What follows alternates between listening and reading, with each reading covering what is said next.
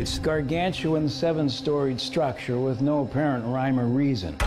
Built on the orders of a grieving widow.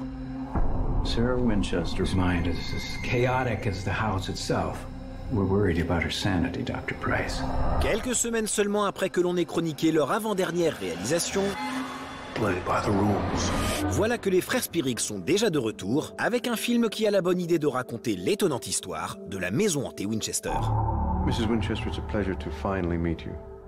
Car la richissime veuve Winchester était convaincue que les innombrables victimes des armes à feu qui avaient fait sa fortune la hantaient pour qu'elle leur construise des pièces où pouvaient reposer leur âme. You believe in ghosts, Dr. Price? I do not believe in anything I cannot see or study. Sa demeure subit ainsi des travaux constants avec l'ajout d'innombrables extensions édifiées selon le bon vouloir des esprits. I feel their presence.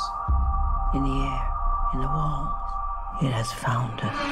Il y a un beau sujet dans la malédiction Winchester, ne serait-ce qu'avec cette maison hantée tout de guingois et en perpétuelle mutation, un organisme vivant idéal pour accueillir le surnaturel et jouer avec l'étrangeté des lieux.